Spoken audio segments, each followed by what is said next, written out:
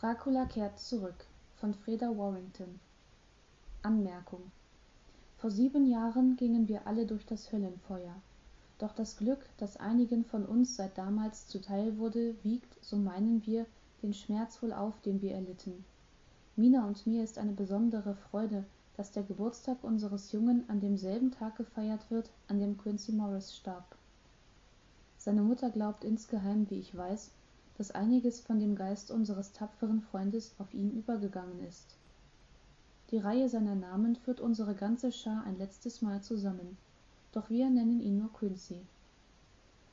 Im sommer dieses jahres sind wir noch einmal nach transsilvanien gereist und haben den schauplatz von einst betreten der für uns so voller lebhafter und schrecklicher erinnerungen war und immer noch ist.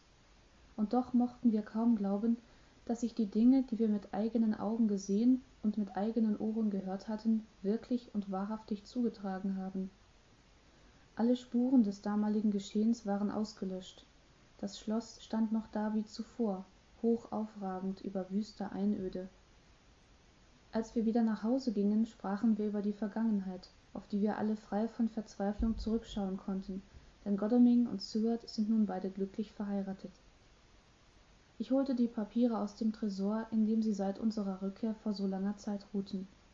Wir waren selbst erstaunt dass sich in der ganzen fülle des materials aus dem sich der bericht zusammensetzt kaum ein urschriftliches dokument befindet. Nur eine vielzahl von maschinengeschriebenen blättern. Mit ausnahme der später entstandenen notizen von mina und stuart und mir selbst sowie von helsings aufzeichnungen wir können kaum selbst wenn wir es wollten von jemandem erwarten dass er diese papiere als belege für eine derart abenteuerliche geschichte gelten lässt van helsing sprach es klar und deutlich aus als er unseren jungen auf den knien schaukelte und dabei erklärte wir brauchen keine belege. Wir erwarten von niemandem dass er uns glauben schenkt. Dieser junge hier wird eines tages wissen was für eine tapfere und mutige frau seine mutter ist. Ihre freundlichkeit und ihre liebevolle fürsorge hat er bereits kennengelernt später wird er begreifen warum manch ein mann sie so liebte dass er um ihretwillen viel gewagt hat. Jonathan harker aus dracula von bram stoker. Anmerkung.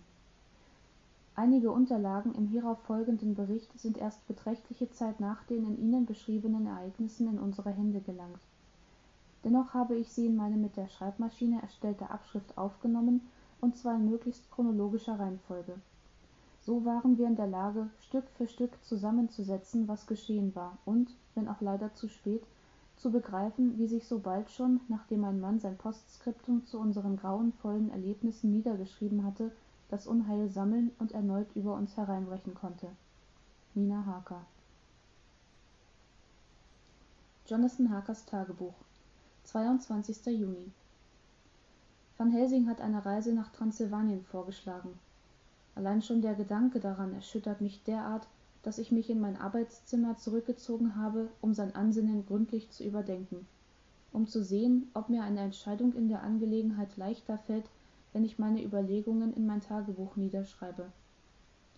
Seit unserer letzten reise und seitdem wir das ungeheuer den grafen dracula vernichtet haben sind nun beinahe sieben jahre vergangen da ist etwas bedeutungsvolles fast magisches um diese zahl sieben.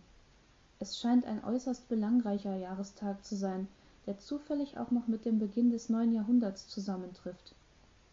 Es ist wie das überschreiten einer symbolischen brücke völlig jenseits jeglicher vernunft und doch von solch ungemein zwingender kraft wie van helsing sagt. So jedenfalls erklärt er die tatsache dass wir seit einigen monaten in gedanken immer wieder bei den sieben jahre zurückliegenden ereignissen verweilen während ich in meinem arbeitszimmer sitze und durch das gewirr rosafarbener kletterrosen hindurch das unter dem fenster hochrankt in den garten schaue muss ich einfach an unser beider glück denken das eingezogen ist seit mina und ich hier in exeter leben. In dem haus meines lieben verstorbenen freundes mr hawkins der mir nicht nur väterlicher freund und mentor sondern auch ein gütiger arbeitgeber war. Wir vermissen ihn noch immer. Und es scheint uns ganz und gar angemessen dass wir sein heim zu dem unseren gemacht haben. Das hatte er sich gewünscht. Mina und ich haben allen grund zufrieden zu sein. Einziger anlaß zur betrübnis sind nur die häufigen krankheiten unseres jungen. Doch weshalb sucht mich dracula seit kurzem in erinnerungen und albträumen heim? Mina glaubt wie ich weiß dass ich seit meinem martyrium auf schloss dracula nie mehr ganz der alte war. Ich habe mein glück gefunden. Ich dachte die geister würden nun für immer schlummern doch in den vergangenen monaten bin ich mehrfach schwitzend und zitternd aus drückenden träumen aufgeschreckt. Träumen von beklemmender dunkelheit in denen mir staubbedeckte spinnweben und boshafte scharlachrote augen erschienen. Van helsing sagt es sei vollkommen natürlich dass man schmerzliche erinnerungen eine zeitlang aus dem bewußtsein verdrängt um dann um so heftiger von ihrem plötzlichen auftauchen überfallen zu werden. In mir lauert immer noch heimlich die entsetzliche angst dass das ungeheuer nicht wirklich vernichtet ist dass die zeit unserer erinnerung einen streich gespielt hat. Die lösung des guten professors ist drastisch. Eine reise zurück an den schauplatz von einst wird einen doppelten zweck erfüllen erklärte er. Erstens werden wir uns davon überzeugen dass das böse in der tat gänzlich vernichtet wurde so dass wir unsere kranken vorstellungen mit gesunder realität austreiben können. Zweitens sollten wir einen christlichen ritus an dem platz vollziehen um ihn zu segnen und so sicherzustellen dass um des landes willen um draculas willen und ebenso um unseretwillen der schlupfwinkel des ungeheuers gereinigt wird und seine elende seele wahrhaft frieden findet. Zu dem zweck müssen alle die von unserer kleinen schar überlebt haben dorthin reisen. Das heißt mina und jonathan lord godalming dr seward und ich selbst. Ich gebe zu ich will nicht reisen.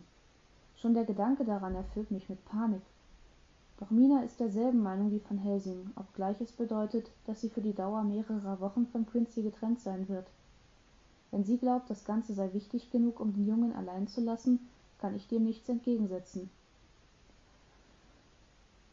Nun denn ich habe meine entscheidung getroffen. Wir müssen reisen. Ich muss meinen ängsten gegenübertreten.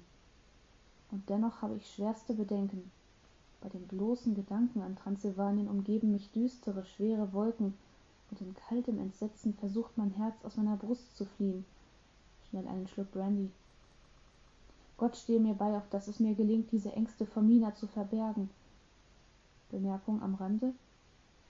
Ich muss joseph bitten die rosen vor dem fenster wegzuschneiden. Sie sind schon längst verblüht verdecken die aussicht und ihre dornen kratzen am fenster entlang wenn man sie nicht beschneidet dann werden sie so meine ich das ganze haus ersticken